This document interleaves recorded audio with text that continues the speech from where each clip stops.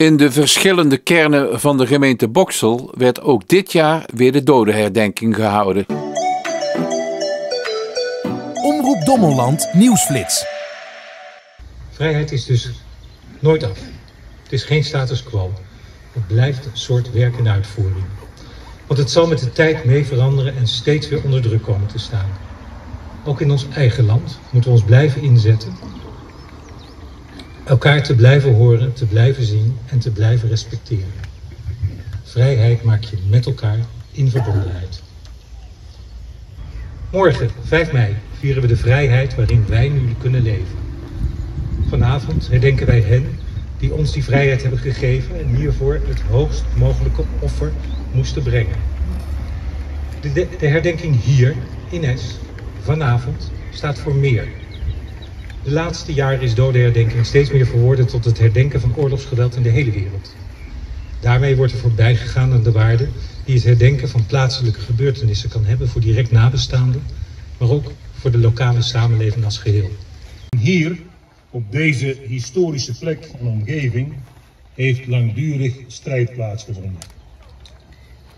Bij herdenkingen worden dikwijls de militaire slachtoffers en verzetstrijders geroemd.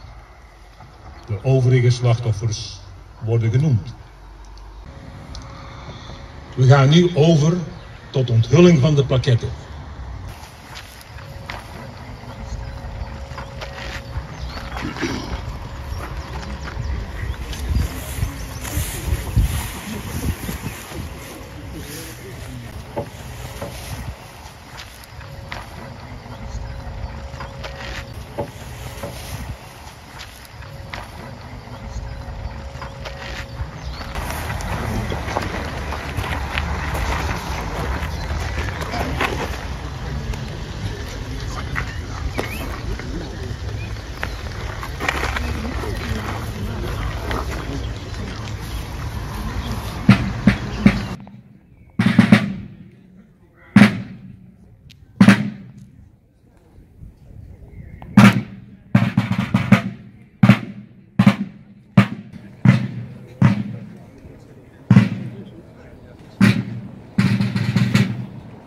Beste mensen, welkom op de doodherdenking in Liefde 2022.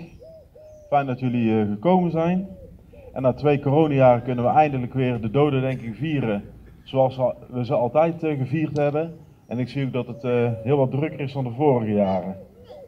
We gaan nu beginnen met Simon, die gaat een gedicht voorlezen.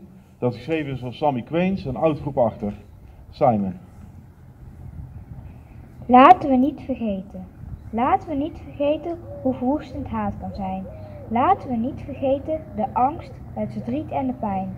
Laten we niet vergeten dat ieder mens recht op vrijheid heeft. Laten we niet vergeten dat dit recht op veel plekken wordt gestreefd. Laten we niet vergeten wat onze voorouders is aangedaan. Ik zal het niet vergeten omdat we hier steeds samen bij stilstaan. Laten we niet vergeten.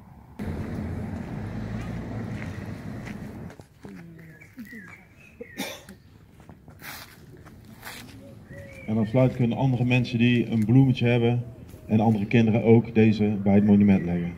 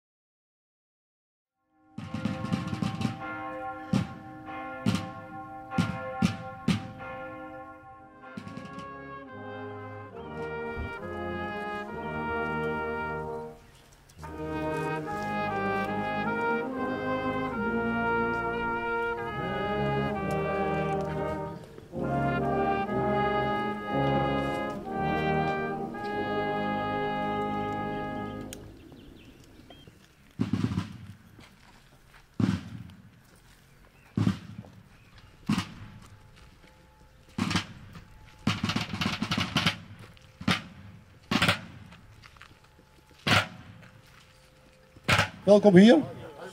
Voor deze plek waar het tijdelijk monument komt staan. Marielle, mag ik je uitnodigen? Aansteken van het eerste kaarsje.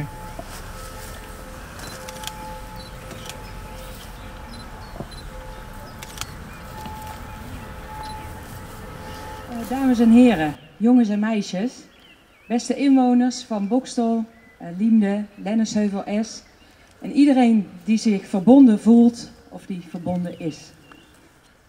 Tijdens de nationale herdenking op 4 mei herdenken wij ieder jaar slachtoffers van de Tweede Wereldoorlog. Ook herdenken we alle slachtoffers die daarna vielen tijdens oorlogs- en vredesoperaties waarbij Nederland betrokken was. Sinds het einde van de Tweede Wereldoorlog leven we in Nederland weliswaar in vrede en vrijheid, maar toch is er nog geen dag verstreken zonder dat er ergens in de wereld een oorlog woedde. Zo ook nu heel dichtbij in de Oekraïne.